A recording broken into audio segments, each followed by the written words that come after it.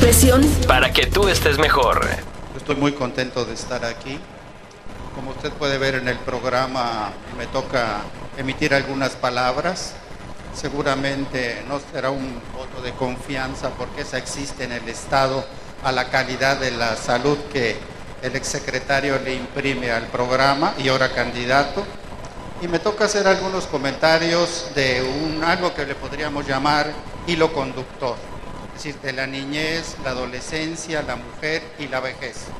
Yo creo que es particularmente importante porque es el eje que vertebra todas las acciones en materia de salud, desde que un niño va a nacer hasta que es un anciano.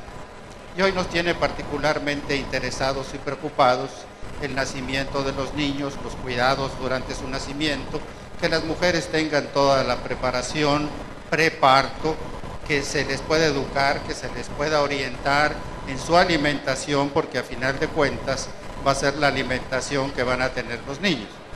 Y desde luego habrá que tener cuidado en el, cuidado de la mujer en el embarazo y en el parto. Luego, posteriormente, habrá que enseñarle a cuidar al niño en la alimentación para evitar que tenga problemas de salud durante los primeros años. Es bien importante recordar que hoy somos el país que más niños obesos tiene. Si tiene niños obesos, como lo diré más tarde en la presentación, seguramente van a ser adolescentes obesos y por ende adultos obesos.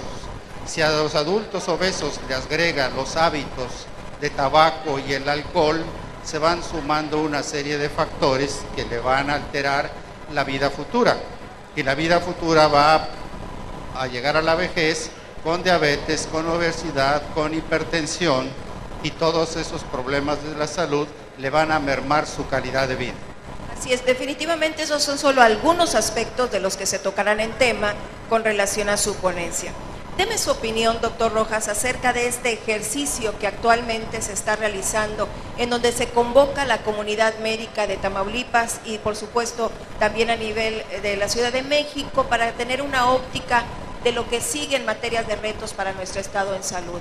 ¿Cuál es su opinión acerca de esta convocatoria y de este ejercicio democrático?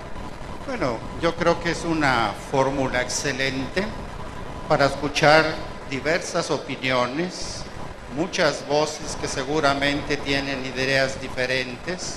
Con todas esas opiniones de la gente interesada en la salud, seguramente el señor candidato, el doctor Torre Cantú, incorporará estas ideas, sugerencias en su programa de salud de su gobierno eh, si el voto, como esperamos, le favorece.